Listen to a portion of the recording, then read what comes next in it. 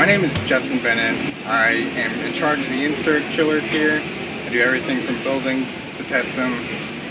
Um, we have a set parameter that we have to meet, so I make sure that they function properly.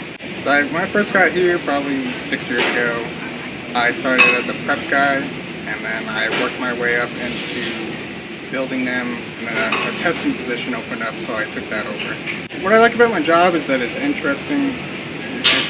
Nothing like any other job I've ever done before.